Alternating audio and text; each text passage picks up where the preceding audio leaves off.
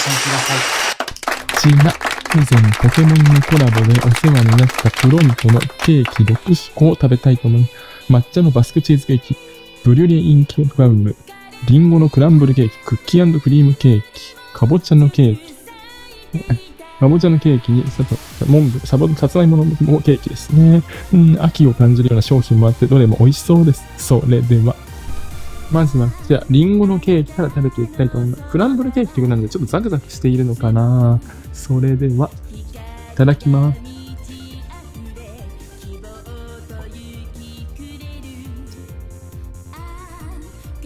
チャンネル登録よろしくお願いします。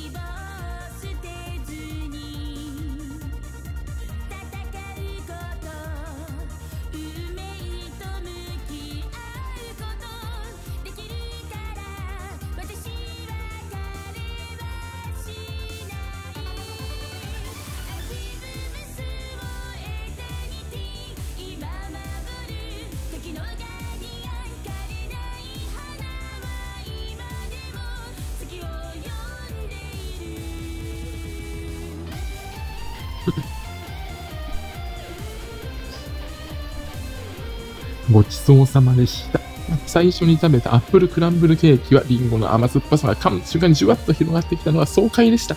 ただ、そしてクランブルのザクザク生地も、サクッという音をちょいとなく見て、本当に楽しく、食べてて楽しくなるケーキでした。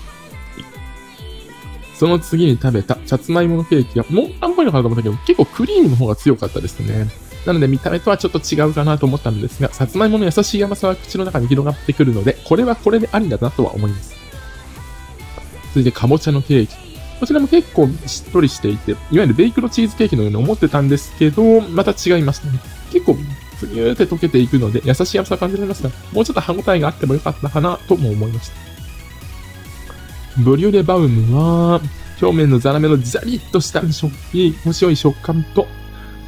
うーん、なんて言ったのかな、ふんわりとしたバウムクーヘンの生地が、中の卵のコクが効いたグリームとよく合っていて、プリンを食べているような気持ちになりましたね。あ、ブリュレか。だから名前が。その次、クッキークリームは、ケーキは結構チョコレートが苦めで、キリッと目が開くような大人の味わいになっていますね。ザクザクという音も時々聞こえてきますし、いわゆるクッキークリームバニラとはまた違った美味しさがあります。最後に食べた抹茶のバスクチーズケーキはもう本当に抹茶一色で、抹茶のほろ苦さ噛んだ瞬間に、ぬーっと、おっと、ね、ロートで言うと言い方悪いですけど、口の中に広がってきて、抹茶がお好きなのであればぜひ食べてほしいです。今回食べた中だと、ブリュレバウムが一番ジャリッとした甘さと、卵のクリームが入っているコクがあ、バランスが取れていて一番美味しいなと思ったので、代表として5点とさせていただきます。ご視聴ありがとうございました。コメントしていただけると、そしてよろしければ他の動画も見ていただく、動画を拡散していただけると嬉しいです。円終焉。